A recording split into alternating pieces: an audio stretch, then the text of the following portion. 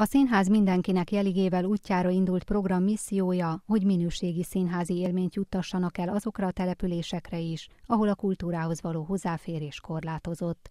Hagyományteremtő szándékkal indul el a Dériné Fesztivál sátoralja új helyen, ahol a színházi élet a régmúltra nyúlik vissza.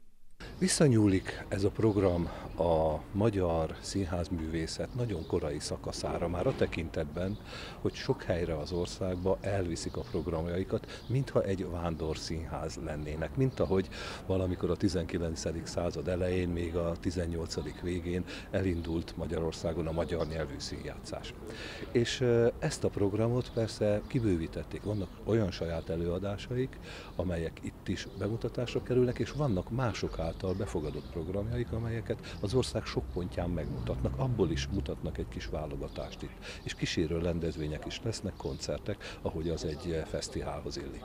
A Dédiné Társulat számára nem ismeretlen Zemplén fővárosa, hiszen a tavalyi évben már bemutatkoztak a helyi közönségnek. Azt gondoltuk, miután tavaly augusztusban itt mutattuk be a János Vitéz című előadásunkat, és nagyon jól éreztük magunkat, megismerkedtünk egy picit ezzel a közeggel, azt gondoltuk, hogy itt Sátoralja új helyen, egy új fesztiválnak igenis, hogy helye van, és hogyha ez a Dériné Fesztivál lehet, akkor mi nagyon boldogok vagyunk.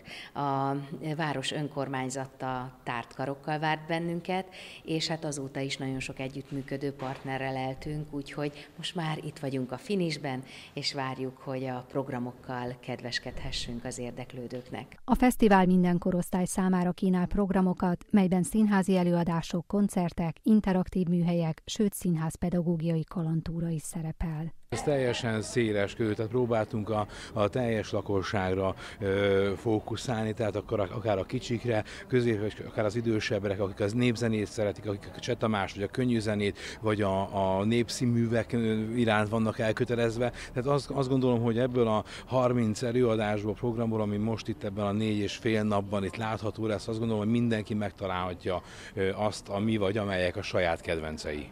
Szamosvölgyi Péter polgármester elmondta, a Dériné Fesztivál, mint kulturális programcsomag egy újabb nagy lehetőség a város és a térség számára. Nagyon büszke vagyok és nagyon boldog vagyok azért, hogy új hely és a térség, nem csak új hely, hanem a térség kapta meg a lehetőséget a Dériné programban először az országban arra, hogy ez a fesztivál megrendezésre kerüljön. Köszönjük ezt a Nemzeti Színháznak, köszönjük ezt a Falvak Városok Szövetségének elnökségének, Halász János úrnak, díszpolgárunknak, mert ők nagyon sokat tettek azért, hogy ez a mai esemény itt elinduljon.